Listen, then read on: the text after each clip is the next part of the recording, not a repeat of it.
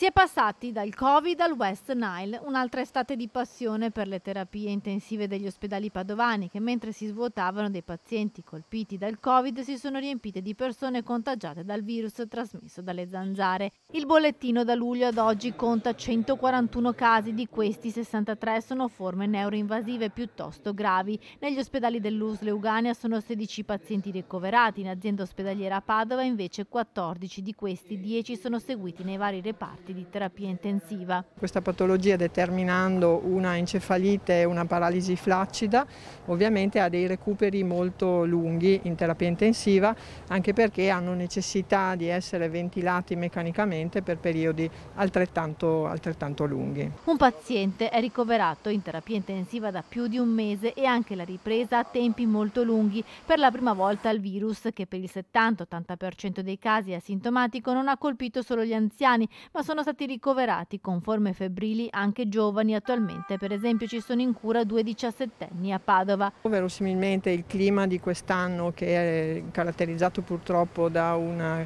caldo forse eccessivo rispetto a quello che eravamo abituati ha determinato un'espressività diversa di questo virus che ovviamente nella maggior parte dei casi come lei diceva è un virus che determina una forma asintomatica o simile influenzale.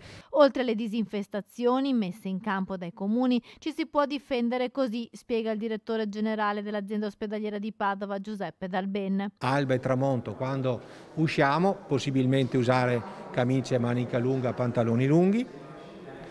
C'è l'attenzione a tutte quelle situazioni di acqua stagnante, quindi vasi dei fiori, secchi d'acqua, piscinette che usiamo per, per, per, i bambini in questo periodo che vanno appunto eh, ricambiate con una certa frequenza come, come acqua e, e, così via. Le stesse ciotole per i cani per esempio, no? per gli animali, non devono essere lasciate lì per tempi prolungati. Contro il virus West Nile ci sarebbe anche un vaccino sperimentato otto anni fa, lo ha detto il professor Giorgio Palù, presidente di AIFA e professore di virologia dell'Università di Padova, ma è sempre mancata la volontà delle industrie farmaceutiche di svilupparlo perché la malattia ha una scarsa letalità e un'incidenza variabile legata alla stagionalità, ha spiegato Palù.